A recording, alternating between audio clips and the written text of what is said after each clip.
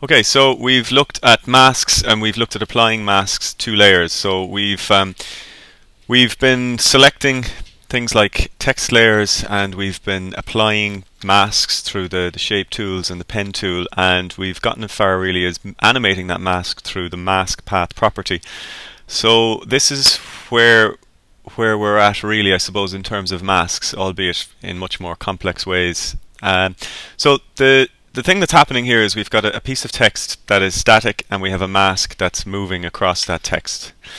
Now that's fine um, until you want to create some sort of a situation where you want the opposite to be the case, where you have just deselect the mask there, where we have a piece of text moving but the mask itself is static.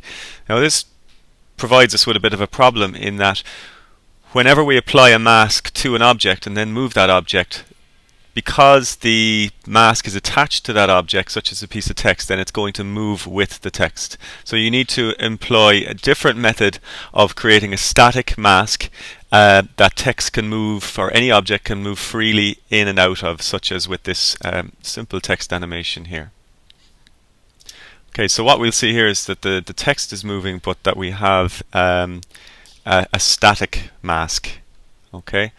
Um, there you can see the mask and you can see the text moving in and out of it. So this could be used for any real, you know, the, the there's an infinite amount of ways that this could be used creatively. But um, I'll talk about the the technique now. Uh, what this uses is essentially a what's called a track mask or track matte rather. Sorry, and that is applied to a different layer. So the the theory or the the process is fairly simple in that you, you put the mask on another layer and it can be anything but the most simple one to use is a solid.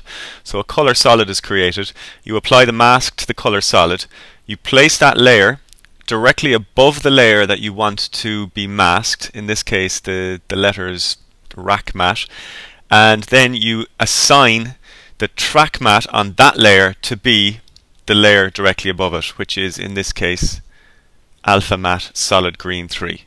Okay, so what you're doing is you're creating the mask on another layer and then you're directing the layer you want to be masked to that layer through this drop down here. You can see the track matte uh, at the top there. So I'll walk through this effect by just deleting these um, these two layers here and I'll just start with my T. So the T is static, it's not doing anything. I suppose the, the illusion here is that I want it to look like the text is coming from the T or from behind the T or you know appearing to the right hand side without crossing over or going behind it. So I'll create my text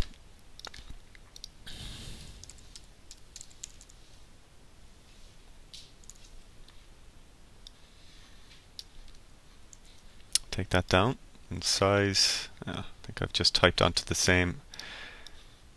Okay, I'll undo that. Okay, there we go. And I'll position that roughly where I want it to end up. Okay, so the the way that I go about doing this is to first of all create a solid.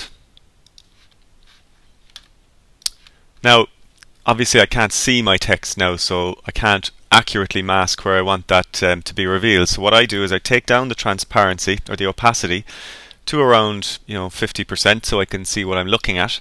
And I'll again put the mask on the green solid layer. That's important. So I'm putting the mask on the green solid layer through selecting it getting the rectangle tool and what I should see is a kind of a transparent semi-transparent green box because I'm masking that solid but I'm outlining the text because I want it to actually be applied to the, the, the rack matte text layer.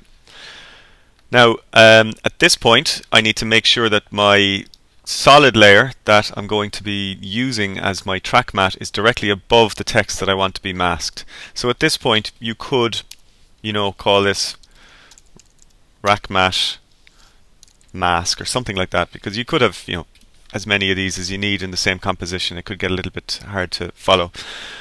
And the next step then is simply to go to the layer that I want to be masked. In this case, rack matte, select alpha matte, and then rack matte mask. So it actually looks for the name of the layer directly above it, and then it asks for what exactly from this do you want to use as the masking data.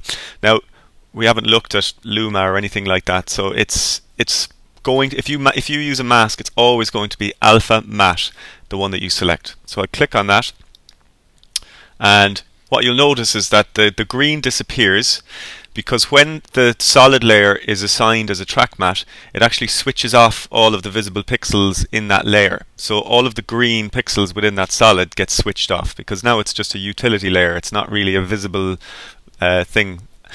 Uh, now what it does on the other hand do is it maintains the transparency value that I gave to the solid. So I need to go back in quickly I can hit T or open up my transform properties and just bring the, the opacity back up to 100%.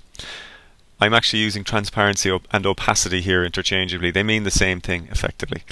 Now, I can go back now and start animating. So if I go out a few seconds, let's say to 5 seconds here, and hit P on my track matte layer just to bring up my position property, keyframe it at the end position because I want it to come out and settle on that particular part of the screen. Come back a few seconds and I can, you know, I can slide the text along out here or I can use the the um, properties in the layer as well. So I'll slide that back now. You'll see it disappears when it gets to the edge of where that mask was created. And uh, I'll quickly ease out of that by hitting easy ease in on the second keyframe and play that back. No, just rendering there so I can go back and hit that again. Okay, a bit slow but you get the idea. I'll just deselect the mask or the um, the layer rather.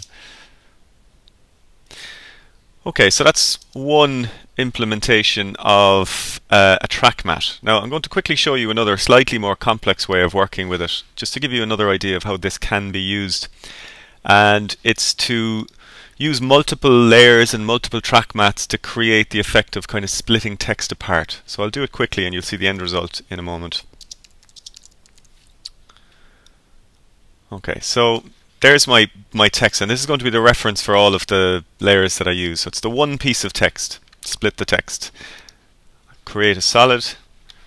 Doesn't matter what color it is. I could name it here if I wanted. I'll call it uh, top matte, and you'll see why in a moment.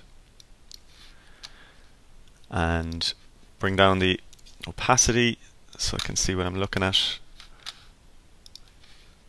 And I'm going to mask off the top part of the text roughly midway. And I'll assign that now as a track matte. Oops, go back into my composition. Track matte, alpha matte, top matte. Now you'll see all of the things that you would expect to happen have happened. Bring that back to 100. But what I want to do is I want to actually have both the top and the bottom visible so that I can then manipulate them, move them around uh, independently of each other. So I'll hit Command and D to duplicate, or I could do copy and paste, it doesn't matter, this is just a quicker way of doing it. Now, so I have a top matte, I have another one called top matte, which I'll call lower matte, And what I'll do with lower matte is I'll go into its mask, quickly double click it to select it so that I can pull the top one or the duplicate of the top mask down so it's now a lower mask. So what I have now is I've got top and bottom both separated by masking them off independently from each other. So now I can do really anything I want to the top. Now obviously if you go outside of the mask you won't be able to, to do much but that's the idea. So you can do some pretty creative things with masks um, using alpha or track mattes rather set to alpha. So if you want to think of it in its simplest sense it's just allowing you to have a static mask that things can move in and out of and then you can just you know see how you can apply that to, to your logos